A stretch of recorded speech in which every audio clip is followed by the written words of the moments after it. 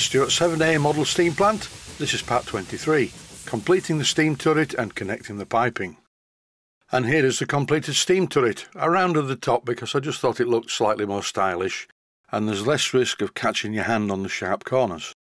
The steam taps were fitted in the normal manner, by applying some Loctite 542 to the threads and screwing them in place. I was really lucky with these two taps, I did not need any shim washers. When I screwed them into position they were in exactly the right place.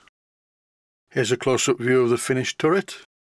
And as you can see, the excellent PM Research cast elbow is also fitted in place.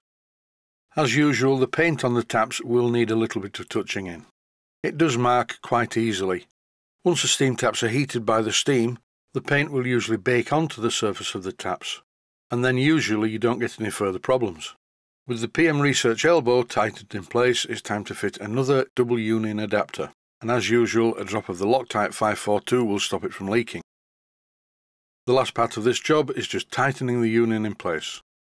The time has come to look at the steam feed from the superheater to the turret, and for this I am reusing the existing pipe that connected to the engine. If you've been following this series from the beginning you will realise that originally the main steam feed went into the engine directly into the side of the steam chest, but after I made the modification to the valve gear bracket the steam inlet is at the front of the steam chest, and also the thread is 5 16 by 32 now, not quarter by 40.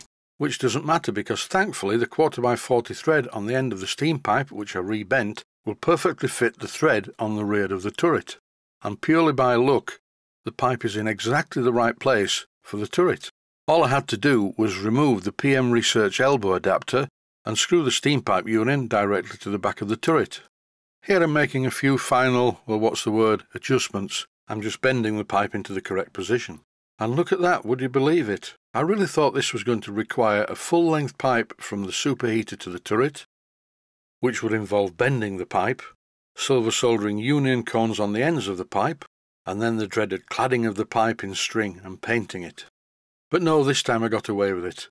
In this clip I'm using some Brasso wadding to clean the pipes. Technically speaking, the pipes are clean, they've just come out of the acid bath. But a quick rub with some Brasso wadding, followed by a really good rub with some cloth, and the piping starts to shine.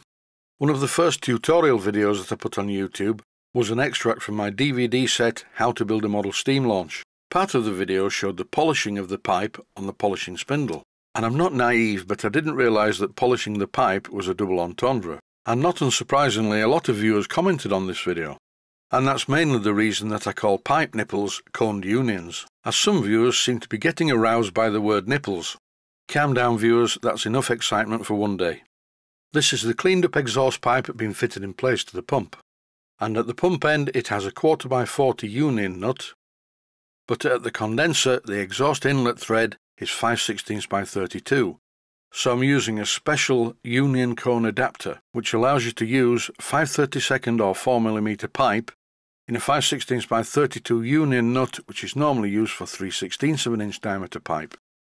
The next part of the job involves making a piece of pipe to go from the turret to the steam inlet of the pump and once again the threads on the pump are quarter by 40 threads per inch using a standard coned union for 532nd or 4mm pipe.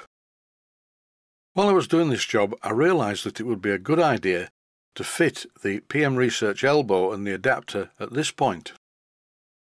And so here goes a bit of Loctite 542 and I'm screwing the PM Research elbow onto the steam inlet of the pump.